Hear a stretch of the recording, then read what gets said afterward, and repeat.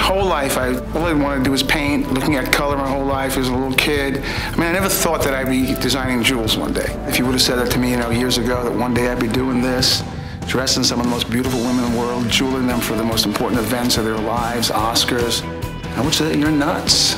I don't want to do that. I want to be a painter. I want to live in New York. You know, I want to have a loft in Soho.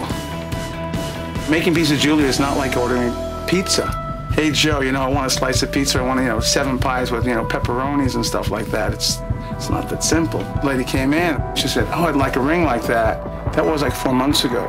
It's challenging making a piece of jewelry, haute uh, couture, you know, handmade jewelry like they used to make. But I, I love doing it. I love looking through, the, through these colored stones. I love choosing it. I love getting a saturation of colors. I was probably inspired by the painter Gustav Klimt from Austria, about 1900. Very, very colorful. I'm using a combination of Fulk faceted round brilliant cut diamonds, gem quality ones, and then I'm using sort of polished rough. It's a visual feast. I love working with diamond chains. I love working with platinum diamonds, stringing them, uh, using the finest materials to make these long chains. They're actually called sautoirs. No one knows what the word sautoir means. It's a French word for, for uh, jumping.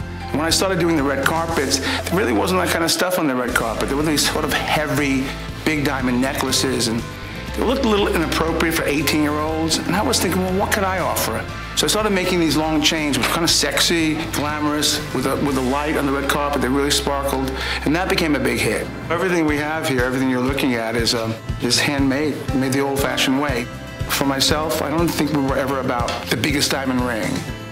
I want someone to say to someone, oh, what a beautiful ring you have, rather than say, oh, what a big rock you have. I think that's what I'm going after, something beautiful that people really treasure.